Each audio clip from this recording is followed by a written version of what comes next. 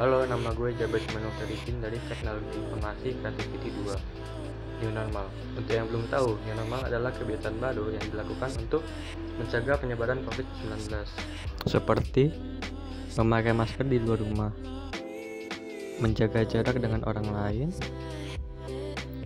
Cuci tangan pakai sabun Jangan lupa protokolnya ya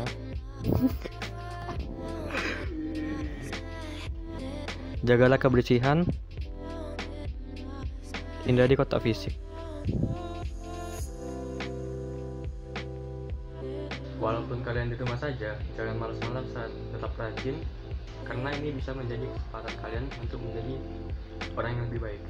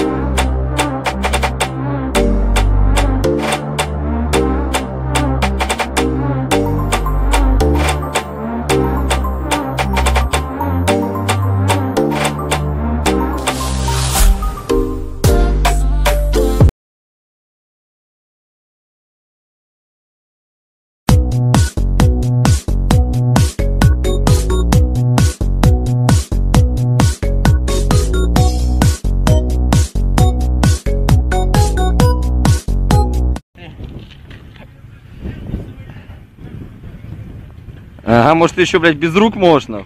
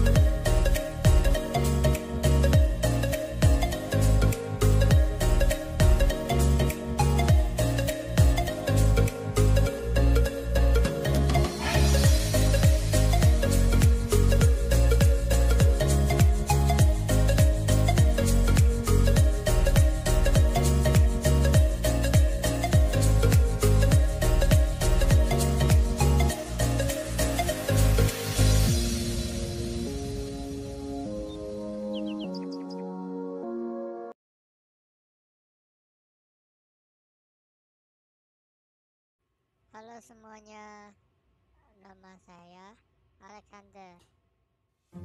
Apa itu new normal? New normal life dikatakan sebagai cara hidup baru di tengah pandemi virus corona. Ada beberapa protokol yang harus diterapkan pada new normal. Apa saja itu?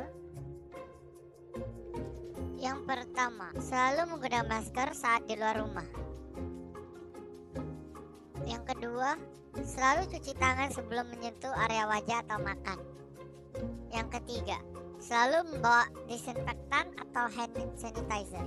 Yang keempat, selalu menjaga jarak minimal 1 meter. Yang terakhir, jangan lupa berolahraga agar imun dalam tubuh kita kuat. Terima kasih sudah menonton video ini. Jangan lupa like dan komen. Hai teman-teman, nama saya Legenda Putri. Saya dari kelompok Creativity 2, BM saya 223. Berikut ini adalah video tentang New Normal Life. Apa itu New Normal Life? New Normal Life adalah cara penanganan mempercepat aspek untuk beradaptasi dengan COVID-19. Tips yang harus dilakukan di era new normal adalah 1. Menggunakan masker saat berada di luar rumah. 2. Selalu mencuci tangan dengan bersih. 3. Hindari menyentuh bagian wajah dengan tangan. 4. Selalu menjaga kontak dengan orang lain. 5. Selalu membawa hand sanitizer. Sekian dan terima kasih. Semoga kita semua sehat selalu.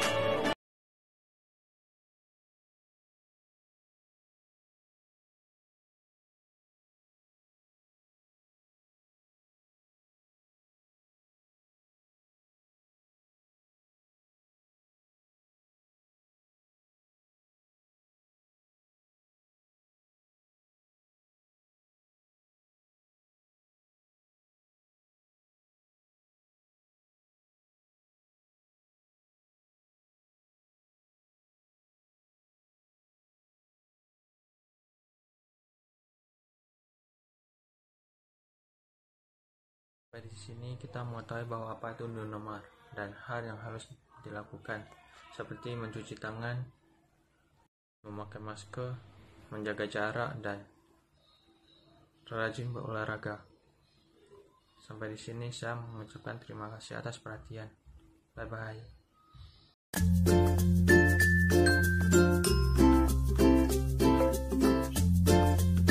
Hai semua, mari tonton video berikut.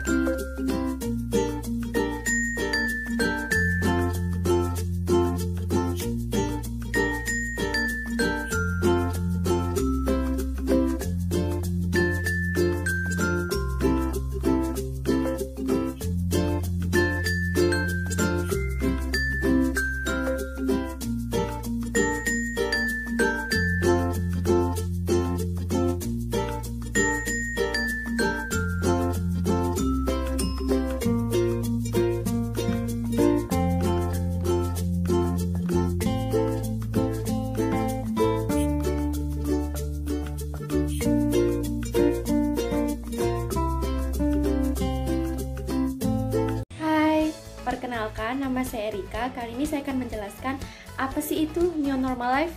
Ikuti terus ya. Kata new normal atau kenormalan baru menurut Badan Bahasa Kemendikbud ialah keadaan normal yang baru dan belum pernah ada sebelumnya. Sedangkan pengertian dari new normal life ialah pola hidup baru dengan menjalankan aktivitas normal namun dengan tetap mengikuti protokol kesehatan yang ada untuk mencegah penularan virus COVID-19. Nah, protokol kesehatan apa aja sih yang wajib teman-teman ikuti? Simak animasi berikut ya. 1. Menggunakan masker jika hendak berpergian. 2. Menghindari kerumunan dan menjaga jarak sekiranya 1 meter. 3. Selalu mencuci tangan dengan sabun hingga bersih. 4. Rajin berolahraga, makan yang sehat, dan istirahat yang cukup. Jadi, ayo kita patuhi protokol kesehatan dan semoga bermanfaat. Bye-bye. Hello there.